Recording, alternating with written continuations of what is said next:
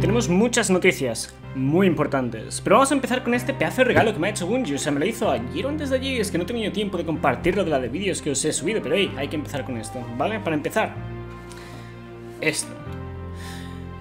O sea, mola, ¿no? Es un llavero o... De hecho, te puedes servir para llevar otra serie de cosas, pero lo interesante es que haya venido con esto, ¿vale? Aquí veis una caja de unas Palladium, ¿vale? En colaboración con Destiny, ¿vale? Son unas botas de Destiny en colaboración con Palladium. Y son estas de aquí. Y están bastante finas. Personalmente me molaban más las otras porque han lanzado como dos pares de botas eh, de Europa, ¿vale? En plan, eh, versión de Europa, diseño Europa. Ahí podéis verlas más o menos. Y de hecho, si os fijáis, aquí tiene la... Ah, no, creo que era una quimera, puede ser, esta bestia. Ahora no recuerdo el lore exactamente. Pero sí, uh, podéis echarles un vistazo, están muy guapas, así que muchísimas gracias a Bungie, a Best Visions por hacer que me llegue esto también. Y bueno, ya las habéis visto, ahora vamos a pasar a esas ricas noticias que os he dicho. Entonces, para empezar, vamos a hablar muy rápidamente de esto, ¿vale? Esto tiene que ver con la localización del viejo transpondedor en Nessus, ¿vale? Y es que aparentemente ha, ha cambiado.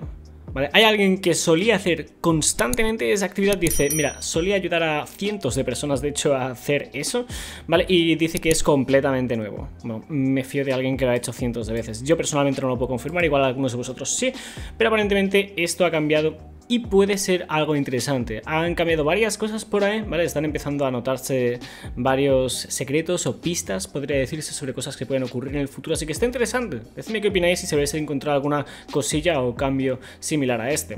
Nessus es una destinación que lleva mucho tiempo y es muy probable que forme parte de las que cambien el próximo año, ¿vale? Que se vaya a Nessus junto con posiblemente la ciudad onirca como hablamos, de hecho, mm, probablemente. Así que, o sea, sí, es que tiene todo el sentido que se vayan o esas dos o zona muerta europea, de hecho también podría irse, en cuenta que se fueron cuatro destinaciones. Uh, de hecho, hace nada, hace unos meses, así que el año que viene probablemente se vayan más de dos. De cualquier modo, uh, están cambiando cosas y puede que esto tenga algo que ver con lo que ocurra en el futuro. No es lo más importante, pero decidme qué opináis. Otra noticia importante, y esto es más importante, han descubierto cómo saltarse la zona del puzzle en la misión Heraldo. Vale, aquí tenéis el gameplay, tendréis link al Reddit y al gameplay abajo en la descripción. Y básicamente podéis ver cómo sigue la zona normal, ¿vale? De hecho, os voy a adelantar el vídeo hasta hasta aquí más o menos, ¿vale? Sabéis que esta es la parte donde destruyes al ojo ese. Y a partir de aquí, fijaos eh, la ruta que toma. Uh, la, la ruta, ruta que toma. Básicamente se mete aquí y ya está. Y ya está. Y ahí se ha saltado una gran parte de este puzzle de saltos. Así que ahí lo tenéis. Eh, probablemente esto forma parte, de hecho, de la misión, ¿vale? Solo que no lo habían descubierto, quizás no habían prestado tanta atención hasta ahora, que se está empezando a compartir. Pero sí, o sea, eso ya os ahorra un buen cacho de la zona de puzzles. Así que ahí lo tenéis, como si lo tenéis links abajo en la descripción. Ahora, a otra noticia. Aquí, como veis, nos hablan sobre que Alguien ha revisitado los Niob Labs, de hecho he leído muchos comentarios al respecto sobre gente revisitando las fraguas y los laboratorios y viendo varios cambios en ellos. Hay que tener en cuenta los cambios a luces que hicieron en las destinaciones de zona muerta europea, Nessus, entre otros, ¿vale? Así que eso hay que tener en cuenta, pero aquí de hecho nos uh, menciona que hay partes del equipamiento que no hay, cajas que han desaparecido, han cambiado más que las luces, ¿vale? Y eh, aquí, por cierto, hay gente que dice, sí, estaría interesante checar otra serie de, fraguas y demás, y os recuerdo que hace no mucho uh, os hablé sobre un Reddit, de hecho, que reunía uh, cambios en la fragua Volund, la primera, creo que era la, la de zona muerta europea, si no recuerdo mal, en la que había un nuevo texto mekingo, ¿vale? En el que se habían llevado la fragua y todo lo que había pero sin embargo quedaba ahí la zona, ¿vale? No tenía mucho sentido que lo hubiesen quitado. Así que está muy interesante y ya os hice un vídeo, de hecho, dedicado a Armería Negra, os, recomiendo checarlo, ¿vale? Porque hay muchas probabilidades de que la próxima temporada sea de Armería Negra, o una de las próximas, ¿vale? Y de hecho yo me inclinaría más porque es la próxima, ¿vale? Al menos tendrá bastante que ver. Y es esto, ¿vale? De hecho, igual que vosotros ya lo habéis pensado cuando lo visteis, ¿vale? Básicamente en este Reddit, uh, la de hecho, de, de nuevo, lo tendréis todo abajo en la descripción, nos muestra una imagen de cómo se veía el antiguo reconfigurador prismático, ¿vale? El que tenía el nómada ahí al lado, y cómo se ve el nuevo. Vale, obviamente la zona es más pulida, pero fijaos un poco en la arquitectura y en los materiales del área, ¿vale? Y también en particular en esto de aquí.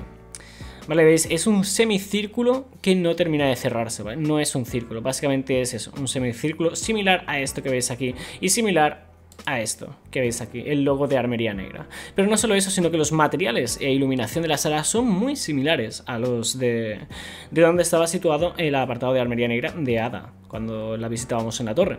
Así que esto, junto con todo aquello que os comenté en aquel vídeo, que no era poco, o sea, era un montón de información, teasers, eh, pruebas y muchísimo más sobre que iban a regresar de algún modo, creo que queda claro que va a tener algo que ver la próxima temporada, porque esto de hecho ya nos han comentado que será para la próxima temporada, así que 100% ocurrirá algo. Me parece muy interesante esto, decidme qué opináis abajo en los comentarios, pero no es todo. Aparentemente hay gente que está recibiendo bonus, es decir, los exóticos y recompensas exclusivas por reservar Forsaken, Shadowkeep y creo que Beyond Light también, creo que todas esas recompensas básicamente por tener el Xbox... Em, ¿Cómo se llamaba? Xbox Live Xbox Game Pass, Dios, no sé cómo podía, cómo no he caído en eso. Es interesante eh, eso, ¿vale? Muchos me lo habéis comentado, ya os he confirmado que sí, que es aparentemente una especie de Google, lo que sea, está ocurriendo. Y todos los que tienen el Xbox Game Pass, o al menos una gran mayoría, por lo que tengo entendido, están recibiendo esas recompensas bonus, ¿vale? O sea, por si no lo sabéis, eh, aparentemente es un bug, ¿vale? Por si os lo habéis preguntado, por qué lo habéis recibido. Y si no lo habéis checado, echadle un vistazo, ¿vale? Igual Rahul tiene esas vainas para vosotros.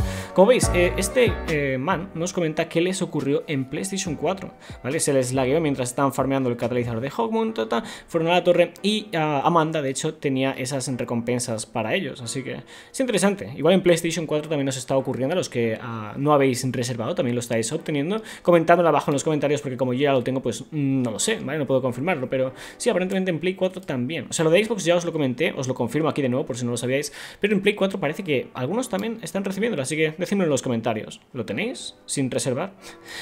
Y luego, finalmente, tenemos esto de aquí, ¿vale? Y es un pequeño aviso, y es que si completas la aventura para la nave, es decir, obtienes la nave, pasas de obtener ah, dos Hawkmoon a una.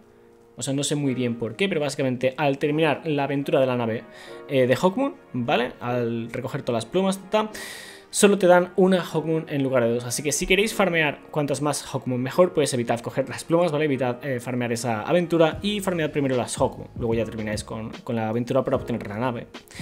Y de hecho tenía aquí también el Light Sigil, el triunfo que os pide coleccionar todas las plumas está bugado, confirmado, ¿vale? En el último de esta semana en Bungie. Es algo que aparentemente la gente aún no se ha enterado, mira que os lo comenté esta semana en Bungie, pero os lo recuerdo en caso de que alguien pues, no lo sepa y, se pregunte por qué. Y con eso creo que terminamos ya las noticias. Igual me parece que tenían más cosas, pero es que ya han sido un montón. Vale, esperaos ahí un segundo. Este tema está llamando mucho la atención de la comunidad, ¿vale? Y es que el nuevo motor de Destiny eh, tiene bastantes bugs, ¿vale? Aquí en este vídeo, Cheese Forever, tendréis link al vídeo, abajo en la descripción. Reúne muchos de estos bugs y errores y lo explica muy bien en inglés, ¿vale?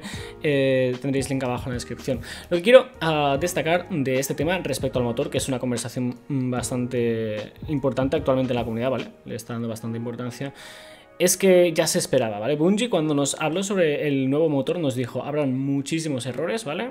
O sea, es de esperar, ¿vale? Con de cambios que habrá. Y no pueden probarlos todos, ¿vale? Básicamente no pueden, eh, no podían asegurarse de que no ocurriese todo esto, porque iban a haber muchos cambios con mucho equipamiento, muchos jugadores. Y bueno, van resolviendo, obviamente se podrían resolver mucho mejor. Y bueno, de fondo en pantalla de hecho estáis viendo algunos de esos errores, ¿vale? Y no son todos, ¿vale? Pero sí, esas miras, por ejemplo, están súper bugueadas. De cualquier modo, para los que no sepáis, el motor no cambió completamente, ¿vale? No es un motor completamente nuevo, sino que hicieron cambios en el motor existente para poder permitirles hacer cosas que no hacían antes, ¿vale? Permitirles eh, hacer misiones más dinámicas, mejorar y actualizar el juego de una forma más rápida y eficiente, añadir y retirar contenido de una forma más eficaz y muchas cosas que mejoran la capacidad de los desarrolladores para llevar mejor Destiny, que nosotros eh, lo disfrutemos mejor también y poder hacer cosas nuevas. El caso es que en cuanto a cosas nuevas, la verdad no hemos visto tampoco mucha novedad, ¿sabes? En cuanto a lo que han eh, llegado a hacer con el motor. Algo que sí se ha notado mucho son los tiempos de carga, o sea, eso 100%, o sea, eso... Mm, ya, para mí, es lo mejor. Si juegas en PlayStation 4 o Xbox o, ¿sabes? En plan, las anteriores generaciones, lo habrás notado mucho los tiempos de carga. O sea, pasa de tardar igual un minuto a tardar 20 segundos. O dos minutos a 40 segundos. O sea, te ahorras ahí la vida si juegas bastante de este. Así que eso fue muy importante y bueno, también se ha notado en cosas como las partículas, lo que han logrado hacer con las eh, tormentas de Europa y demás, pero sí, sigue teniendo muchos errores. Como os digo, hay muchas cosas que eh, se esperaban, ¿vale? Es decir, se esperaban muchos errores. Personalmente creo que deberían mejorar los equipos que se dedican a detectar y resolver estos errores para que no tarden la vida, ¿vale? No puedan resultar un problema para el juego o para cosas como las pruebas de Osiris y que no las aplacen y cosas así, ¿no?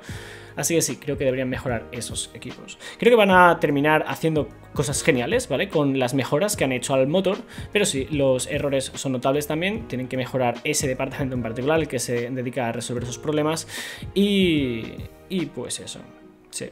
No voy a alargarme mucho más con este tema, pero sé que es un tema que le importaba mucho a la comunidad, que queríais que respondiera ahí, pues ahí está mi opinión. Decidme qué opináis vosotros abajo en los comentarios. Dicho eso, ahora sí, bendiciones. Dile a tu madre que la quieres, si no lo has hecho ya, hazlo otra vez. Ah, más bendiciones. Uh, suscríbete si no lo estás, ¿vale? Os recuerdo, no sé por qué, vergas, el 30% de vosotros que ve mis vídeos no está suscrito, así que, bro, tómate un pinche segundo, ¿vale? Dale, dale.